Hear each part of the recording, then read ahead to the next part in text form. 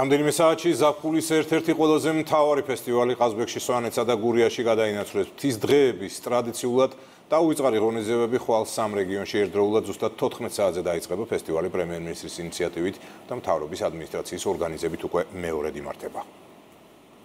ზაფხულის მთავარი ფესტივალი გრძელდება მთის დღეების დაუვიწყარ ღონისძიებებს ამჯერად ყაზბეგში, სვანეთსა და გურიაში უმასპინძლებენ.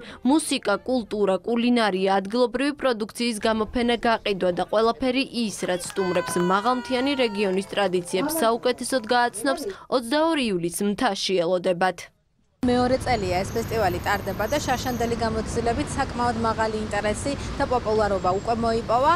აღსანიშნავია, რომ სტუმრებს, ვინც ადგილზე ჩამოვლენ, დახვდებათ როგორც გასართობი სივრცეები ყველა ასაკის ადამიანისთვის მსგავსი სტიმულირება საფესტივალო ცხოვრების ძალიან პოზიტიურად აისახება როგორც ადგილობრივი ტურიზმის განვითარებისთვის, ისე ზოგადად ქვეყანაში მეტი ტურისტის ჩამოყვანას უწყობს ხელს. ყაზბეგში ელიას ტყის მიმდებარედ ფესტივალი ადგილობრივი მეწარმეების პროდუქციის გამოფენა გაყიდვით გაიხსნება. მოგვიანებით სახალისო და სპორტულ ღონისძიებებთან ერთად ადგილობრივი ლუდის ხარშვისა და ხინკლის მომზადების მასტერკლასები გამართება. მრავალფეროვანი კულინარიული ოსტატობის გაკვეთილების შემდეგ კი ღონისძიება ქართველი მომღერლების კონცერტით დასრულდება. ანსამბლი ჰერიო არის მე როგორც ვიცი თამა და მეც მართლა რაღაცა კარგ მუსიკალურ ბენდთან ერთად ძალიან მაგარ ბიჭებთან ერთად და ნამდვილად ვფიქრობ, რომ ესეთი საღამოები საქართველოს რეგიონებში და ხვალ რა თქმა უნდა ყაზბეგში აუცილებელია. სვანეთში სტუმრებს უღვირის ტბა უმასპინძლებს. დაუვიწყარი მესტია მთის დღეების აღნიშნოს ოფიციალურად 14 საათზე მუსიკალური ღონისძიებები დაიწყებს, რის შემდეგაც ადგილობრივი და მოწვეული მზარეულების კერძების დეგუსტაცია და სპორტულ გასართობი ღონისძიებები გამართება.